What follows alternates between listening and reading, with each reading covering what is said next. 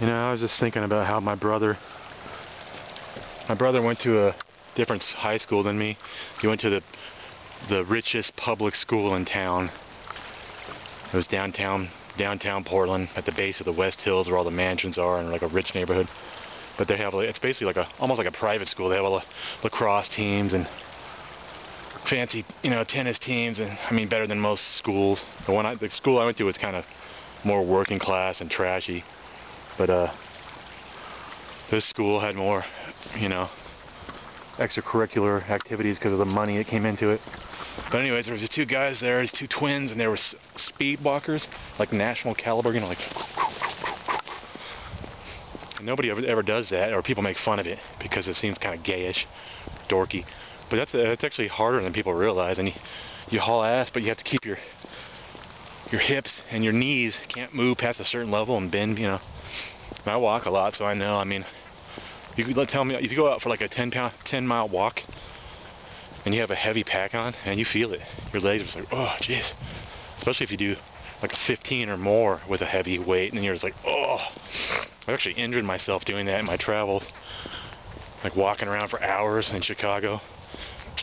I got like 15 to 18 miles one day, hauling ass walking too, and I pulled my Achilles tendon really bad did that in LA too, just walking all over for hours. And then I get back and just crash. Oh! But, uh, you know what else should be an Olympic sport? I, I think speed walking still is, but uh, skipping.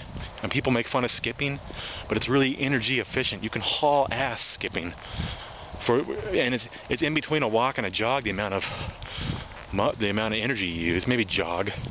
But man, you'd get you'd get buff calves and your legs too from doosh, doosh, your thighs, probably your back and stuff too. Maybe your arms going doosh, doosh, doosh, doosh. But it's you know it's frowned upon in, our, in society. I, I guess maybe most countries people don't really skip, but it's, it's the most energy efficient way that I found to travel is with just your body. You know, you can haul ass skipping. It's actually pretty fun. It's just, you know, if you do it, you're going to get people screwing with you all the time. Calling you homo or whatever. It's stupid, you know. Stuff like that we can't really do in our society unless you really don't care about people. I, I, am too sensitive when people bug me. I'm just like, man, fuck you. I get mad because I feel like I have a right to do what I want as long as I'm not hurting anybody else.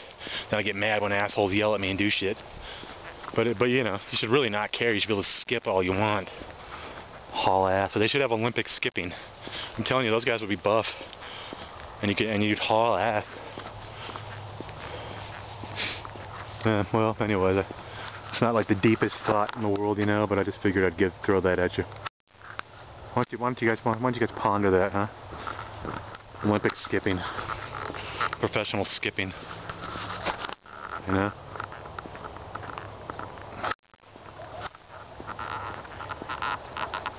I mean, I'd skip right now, actually. Well, one thing about skipping is when you have a pack, it has to be really secure because otherwise it bounces around like a maniac. So it was, sometimes I've had to run for trains or I'm late somewhere and I've had to run and I got my messenger bag on and only has one strap and it swings around all the time. It bounces. Like, so I'm holding it with one hand and running. Well, anyways, let's uh, let's all get together and consider the uh, intergalactic skipping Olympics as a future event. Interdimensional skipping Olympics. I think that I think that'll work out. Highly profitable, highly satisfying to all involved.